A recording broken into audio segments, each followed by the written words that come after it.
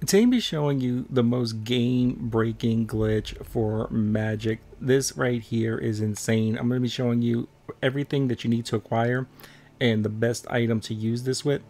But first, I just want to show you this is NG15 right here.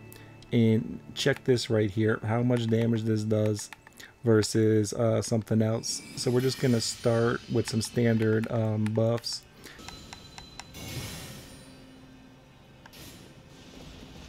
check that damage. 7,000 right there for that.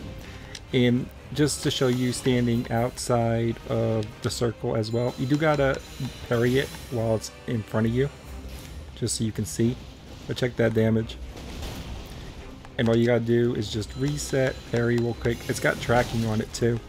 So even if you get knocked down as soon as you get up it hits them again Let's do uh, Terra Magica. This is the Lusat's helmet too, so I have an additional 15% boost on the Comet Azur. Look at that right there. Look how long I only did 3,000 damage.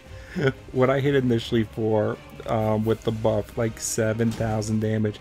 So on all these boss fights, you can just open up with a full buff, wait for them to get close, if they're not dead instantly, then just back off for a second, cast another one, and wait for them to die.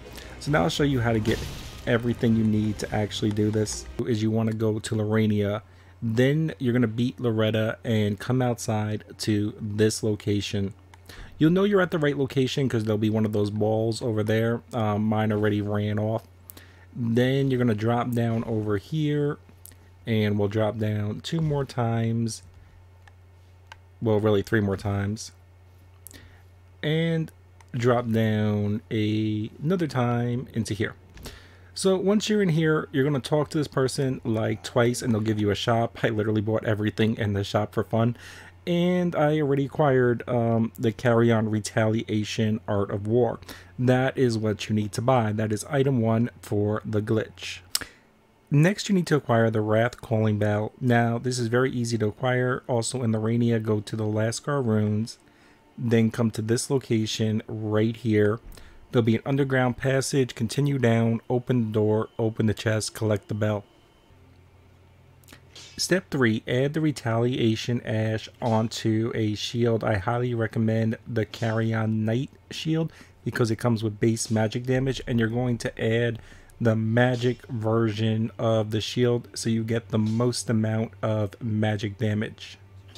If you don't know how to acquire the shield, it's just normal game progression, defeating the boss of Liurnia. You get there by starting off at the debate parlor, then running straight ahead, going to the right, and you'll be able to go to the other side of that section, and then you go up past two balls, kill a Carian knight that will give you the shield.